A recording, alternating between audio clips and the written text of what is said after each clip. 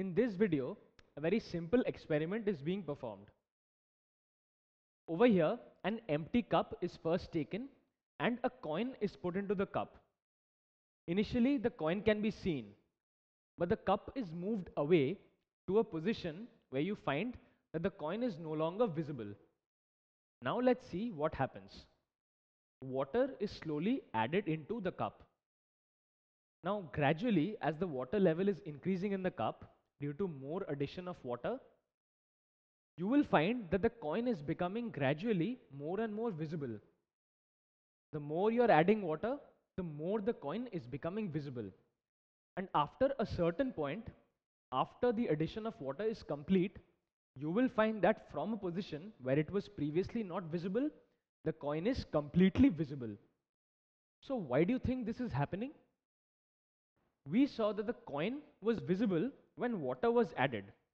So from a position where it was previously not visible, if it became visible after water was added, what does it mean? Does it mean that the coin must have been raised from its initial position? Why does the coin placed under water appear raised?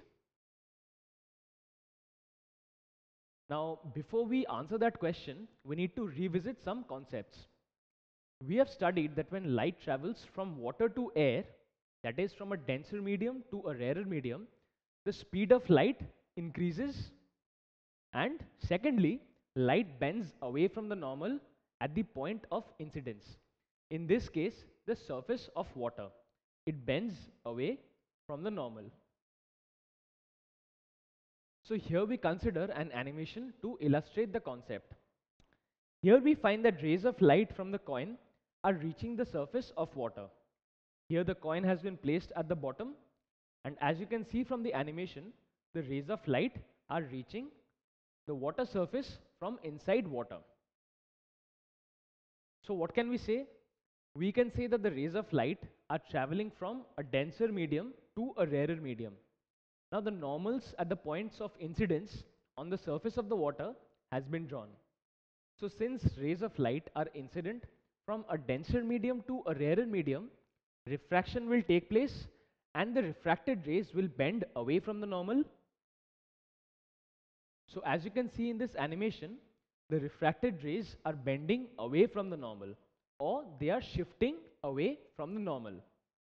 Now obviously for an observer, he will think that the light rays are coming from a straight path because an observer cannot observe the zigzag path that the light rays are taking.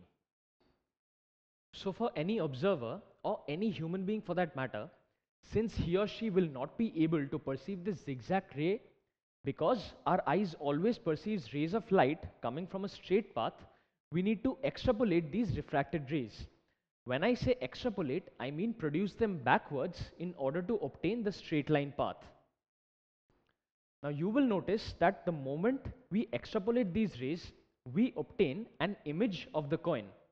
You will notice that on extrapolation of the refracted rays, the image of the coin is obtained at a position that does not correspond with the actual position of the coin. This position of the coin where we get the image is raised and it is above the actual position of the coin. And it is from this point where the observer thinks that the rays of light are coming. Thus we see that the point of intersection of the refracted rays giving us the image is not the same as the position of the actual coin. So this is the reason why on addition of water, where initially the coin was not visible, the coin is now visible because of the refraction of light at the water-air interface. So as we can see that the actual position of the coin is this and this position is the apparent position or the position which the observer thinks the coin has been placed at.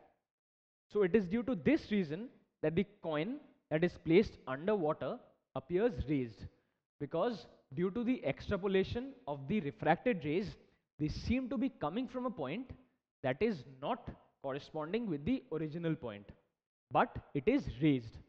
So this is the reason why the coin placed underwater appears raised. Now let us familiarize ourselves with some technical terms. The depth at which the coin has actually been placed, that is CA, is known as the real depth because that is actually the depth where the coin is and the depth at which the observer thinks the coin is or the depth where the observer actually sees the coin is known as the apparent depth. Why? Because to the observer, it is apparent that the coin is actually at that place. So CB is known as the apparent depth. So if we take a quick recap, we learned that when a coin is placed in water, or for that matter any other object, it will not appear at its original position. It will appear raised. Just like we saw in the video, we had kept a coin in an empty glass at first. And we had kept it at a position where we could not see the coin. Once we added water in the cup, the coin was visible to us. This was because of the refraction of light rays at the water-air interface or the water surface. We, the observer, were able to see the apparent position of the coin. So we also learned some technical terms. The actual depth of the coin from the surface of the water is known as the real depth and the depth of the coin which is apparent to us that is which the observer sees is known as the apparent depth. And in this image CA gives us the real depth and CB gives us the apparent depth.